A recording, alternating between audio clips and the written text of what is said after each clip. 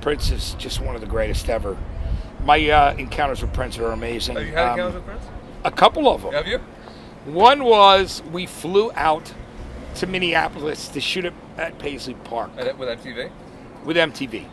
On a Saturday afternoon, I hosted a show called Flying Indie Under the Radar. And it was all indie or unsigned bands videos that came in. It was Right. like almost like the basement tapes. But I did this thing.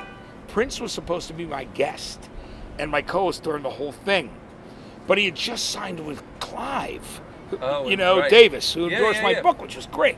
Anyway, so Clive, um, like signed him after the whole thing with emancipation, everything that happened. He was doing indie records, so he agreed to do it before the Clive deal was was was news. Right. So we get out there, and in complete Prince fashion, he's on the phone with my producer, and we're in a hotel room. You're in Minneapolis.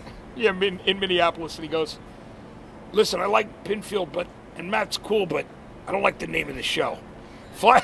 She goes, "Well, we'll change it then." No, I don't. You know, like he ends up buying us lunch, and then we fly back home. So I had a steak lunch on Prince. He's not there.